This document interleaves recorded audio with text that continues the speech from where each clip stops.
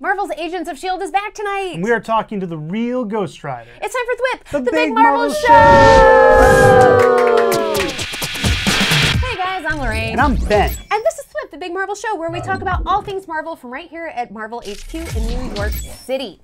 Marvel's Agents of S.H.I.E.L.D. is premiering tonight. That's right, it premieres tonight at 10, 9 central, new time, so make sure you change your plans. And we thought that you might need a quick refresher course to get you all ready for tonight. Here's where season 3 left off in 30 seconds or less. Warning, spoilers ahead for season three. Go!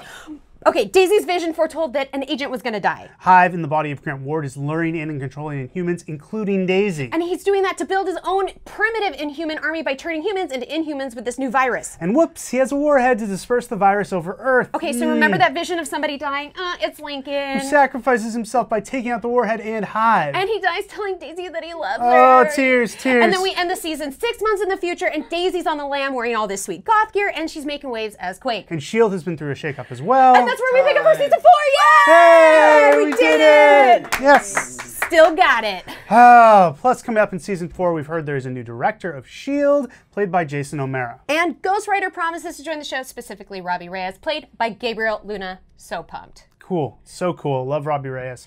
And that brings us to something very special, Lorraine. We have a special guest here to offer us a bit of Robbie Reyes comic book history. It's Ghost Rider! Hey, Ghost Rider! Welcome to the Hello. show. Good to see you. Thanks Good to see you. coming. Good to be here. Welcome. Thank you Thrilled to be coming. here. Uh, you look very casual today. Yeah, yeah, it's my day off. No vengeancing today. Oh. So, uh, I have hooked up with a lot of Ghost Riders. Not like that. Uh, I mean, I was in their body. We sh- we shared bodies. We when I possessed them, like a ghost rider. I think we got it. Uh, you if you want to go ahead. Yeah. Anyway, Okay. You might know some some of my exes, like Johnny Blaze, Daniel Ketch, or Alejandra, but they didn't work out for various reasons. What can I say? I love a bad boy or girl motorhead. I thought you said you didn't really like date or whatever. We, whatever. we, we didn't. We didn't. but sharing a body is intimate. Okay. Uh, let's let's get to Robbie Reyes, if you don't mind. Sure, Robbie Reyes. Robbie Reyes is a great kid. He's from he's Latino from a from a rough neighborhood. He's working as a mechanic.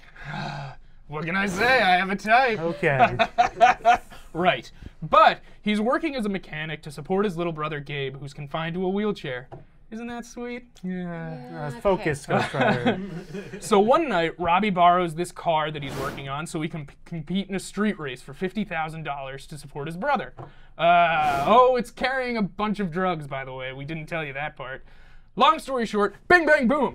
Robbie is pulled over, but it turns out he hasn't been pulled over by the police. He's been pulled over by the bad guys. And they want the drugs that are hidden in the car. So they shot Robbie. But they didn't know I was there. And then I show up and I'm all like, hey, what's up, everybody? Vengeance time! That's how we met. Isn't that adorable? I mean, I don't think getting shot up for drugs is particularly cute, but you know. You're a cynic. You're a cynic. Anyway, now we're closer than ever, just avenging his death and street racing and supporting his little brother, killing bad guys. It's the best. Wow, wow. Well, thank you for Oh, that yeah. thrilling Thanks, Ghost comic book Rider. history, Of course, Ghost I'm Rider. happy to be You know here. what? I have to say, you are a lot more sweet and sentimental than I would have. Are you wearing a mask? yeah, wait a No, minute. no, it's not What's that? Wait. Oh, Editor Devin Lewis. yes, it's me. And I would have gotten away with it too if it wasn't for you meddling Oh, hosts. okay. Can we get, get him out of here, Yeah, please? please. You can't- This is no- ridiculous. No, I don't want to go. Don't No. make me do it. I don't want. To. I'm Ghost Rider. Oh boy. Well, if you want to check out the real Ghost Rider, check him out on Marvel's Agents of Shield tonight at 10, 9 Central on ABC. And now it's time for social hour. Yeah.